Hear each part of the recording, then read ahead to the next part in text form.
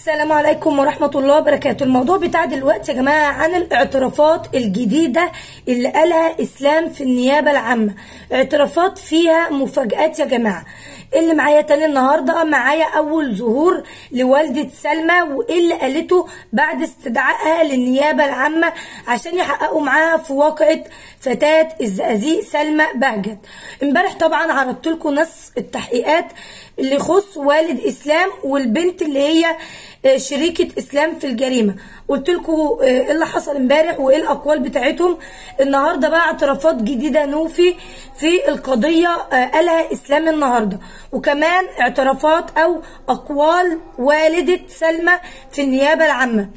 هنبتدي معاكم النهارده في أول حلقة يعني بأقوال والدة سلمى في النيابة العامة. طبعا تم استدعائها للنيابة العامة عشان ياخدوا أقوالها. أول سؤال كان بتقول سألها يعني وكيل النيابة ما هي علاقة سلمى بالمتهم إسلام؟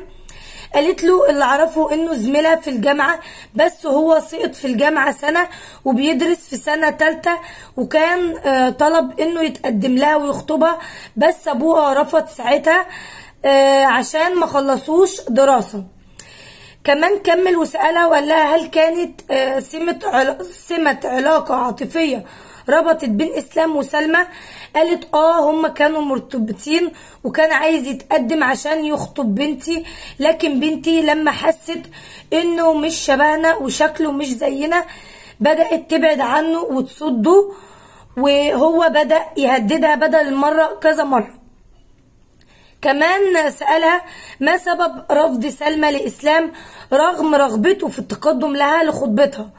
قالت علشان هي لقت أسلوبه مش كويس وراسم وشم على جسمه وبعيد عن ديننا وكانت حاسة إنه بيتعاطى مخدرات وطباعه غريبة عننا فبدأت تبعد عنه.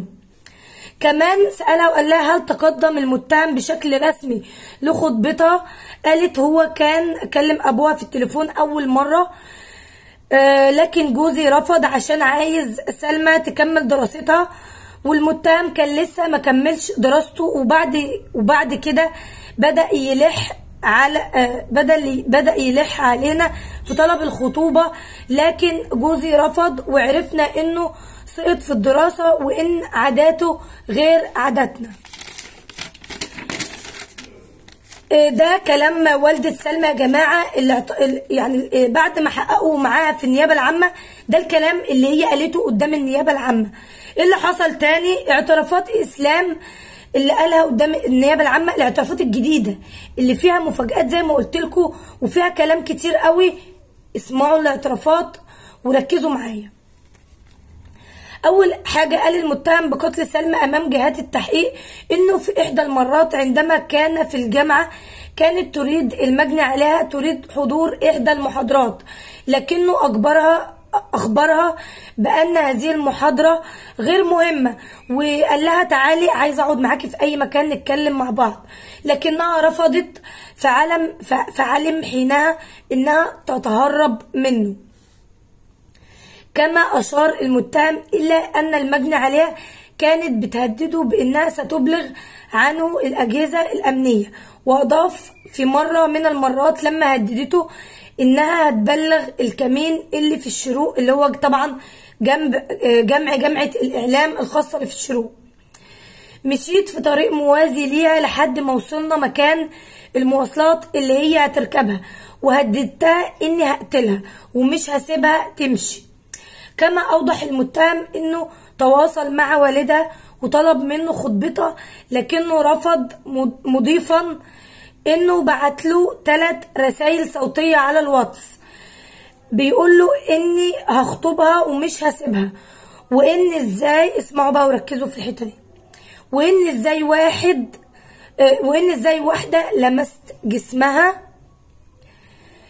واحد تاني يخطبها. وهددته وقلت له حقي هاخده ومش هسيبه بالقانون أو غير القانون. يعني بيقول لأبوها إن إزاي واحدة أنا لمست جسمها يجي واحد يخطبها وأنا مش هسيبها. لا حول ولا قوة إلا بالله. آه فسأله طبعا وقال له ليه سأله طبعا في النيابة العامة قال له ليه بتقرأ في الفلسفة؟ قال له لما بكون مخنوق ومتضايق بقرأ الكلام ده. زي ناس كتير لما تبقى مخنوقة ومتضايقة بتسمع أغاني حزينة. آه، فقال له لماذا كنت تنوي السفر لروسيا؟ قال له عشان كان فيها أفضل بنات وفيها فودكا وعشان الدراسة هناك رخيصة. آه، سأله قال هل تتعاطى مخدرات؟ قال له أيوة بتعاطى حشيش. وقال له إن هو بيشرب خمرة بأنواعها. بعد كده قال له إيه اللي حصل منها؟ يخليك تعمل فيها كده. قال له هي بدأت تبعد عني وبدأ التواصل بينا يقل من ناحيتها. فأنا اتغصت وحبيت انتقم منها. بعد كده سأله قال له إيه اللي أنت عملته لما هي بدأت تبعد عنك؟ قال له اتخيلت إنها ممكن تكون لحد غيري. بدأت أهددها إني هفضحها بالصور اللي معايا. هبعت الصور لأبوها وعيلتها ولأصحابنا كمان في الكلية. فكانت بتخاف وترجع تاني وبعد كده كانت بتبعد تاني. قال له إيه سبب إصرارك على استمرار علاقتكم العاطفية بسلمى علاقتك العاطفية بسلمى؟ رغم رفضها لذلك. قال له لاني ما كنتش متخيلة مع حد غيري وكنت بحبها حب جنون وكنت عايز اتجوزها. شفتوا يا جماعة الكلام؟ شفتوا بعت وقال إيه؟ والكلام اللي اعترف بيه في النيابة الجديد بيقول إن كان في مقابلات بينهم. طبعا في الحلقة التانية بتاعت امبارح كنت قايلة لكم إن هو قايل إن في مقابلات بينهم وبين بعض في شقة الشروق كمان قال النهارده في النيابة العامة إن هو لمس جسمها وهو ما كانش هيرضى إن أي حد يتقدم بخطبتها بعد ما هو عمل كده. لا حول ولا قوة إلا بالله. بجد ممكن الكلام اللي كان اللي قاله في النيابة دي وكل اللي اعترفت اللي أنا قلتها لكم دي ممكن تكون كذب. ممكن يكون الواد بيتبلى عن ال- على البنت وبيقول إن هو لمسها والكلام ده كله كل الكلام ده يبقى كذب. لكن إيه سبب واقعة نيرة وإيه سبب واقعة سلمى؟ الواقعتين يا جماعة اللي مشترك فيهم إهمال الأب والأم. كنت فين؟ كنتوا فين؟ وبنتكم بتروح تقابلوا وبتعرفوا وبتكلموا على الواتس وكانت نشبت بينهم وبين بعض علاقة حب. كان فين أهل نيرة لما محمد عادل كان بيكلمها وكان بيبعت لها رسائل وكانوا بيحبوا بعض وفجأة سابوا بعض؟ كان فين الأهالي؟ أنا شايفة إن في الواقعتين المشترك فيهم إن الأهالي هم السبب. العيال ضحية لأهاليهم العيال ضحية لتربيتهم العيال ضحية للأب والأم.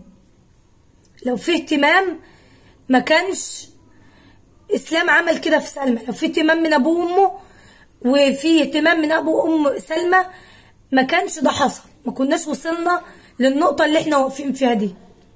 كمان واقعة نيرة لو كان في اهتمام من الأب والأم في الحالتين عند أهل محمد عادل وأهل نيرة ما كانش حاصل للي إحنا بنتكلم فيه دلوقتي. يا جماعة خلي بالكم من بناتكم وعيالكم. ده اللي بيحصل لما بنهمل بناتنا ولما بنهمل الصبيان.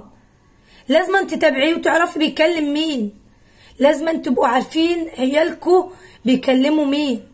خلي بالكم من عيالكم يا جماعة بجد الواقعتين الضحية فيهم العيال من أهاليهم. لا حول ولا قوة إلا بالله.